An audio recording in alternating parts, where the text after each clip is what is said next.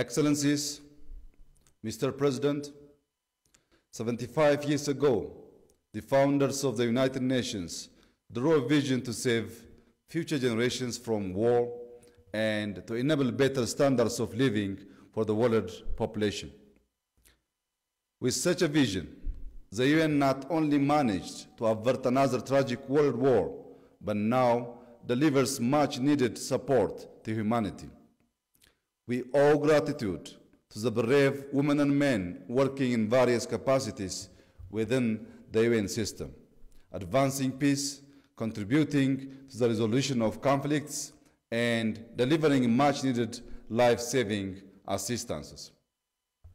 Mr. President, we are not, of course, oblivious to the many challenges and shortcomings of the UN, which will continue to elicit discussion and debate among policymakers, scholars, and the wider public. In the face of new and complex challenges, the UN is indeed under enormous pressure to deliver better. This is why it needs to evolve and adapt with the new global realities to make itself fit for purpose.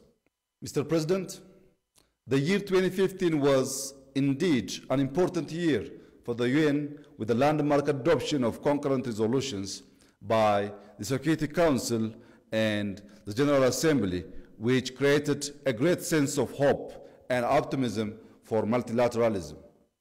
However, these achievements are now under serious threat of setback over rising geopolitical tensions.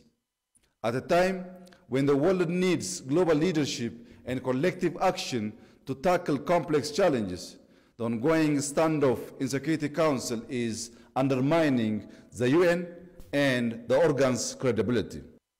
Such a stalemate further supports the need for the Security Council to be reformed and adapt to current global realities. Together with this, we believe the historic injustice against Africa must also be redressed through adequate representation. Mr. President, progress towards the SDGs has also been slowed by COVID-19, which has overwhelmed health systems across the world and challenged the global economy. The burden on African countries as a result is undeniable. That's why Africa needs a stimulus package, either in the form of capital mobilization, debt relief or restructuring, or support for social sectors.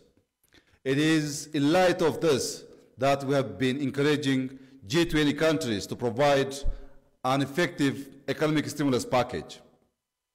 No country, big or small, is capable of addressing such kinds of global challenges alone, which certainly require global solutions.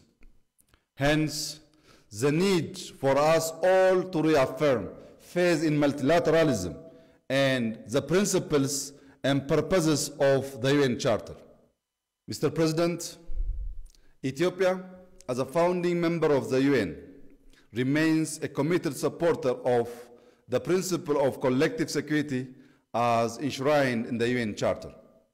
We are immensely proud of our long-standing and significant contributions to UN peacekeeping operations since the early days of the organization. Ethiopia is also fully committed to the UN's transformative agenda of ensuring sustainable development for all.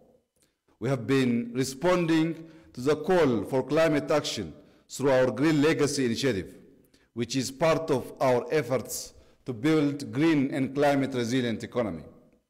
Over the past two years, we have also been exerting every possible effort to open up the political space and promote the exercise of democratic freedoms and human rights. We have no illusion that this would be a smooth ride and there have been stiff challenges along the way. Rest assured that we remain committed to the objective of democratization and we will pursue our reform efforts with all the necessary political commitment to achieve a successful transition and hold peaceful and credible elections.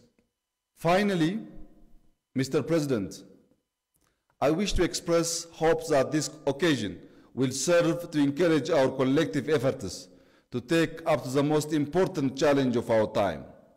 That is creating peaceful, equitable, and sustainable societies in a stable global order. Ethiopia remains committed to the ideals of the UN. I thank you.